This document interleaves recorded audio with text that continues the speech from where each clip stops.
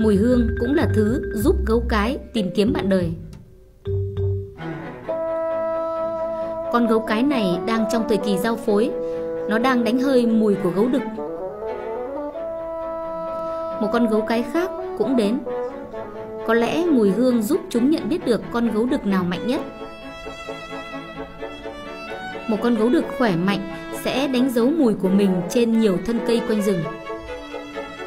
Nếu con cái nhớ mùi nào, nó sẽ biết mùi đó là của gấu đực nào trong số những con nó đã gặp.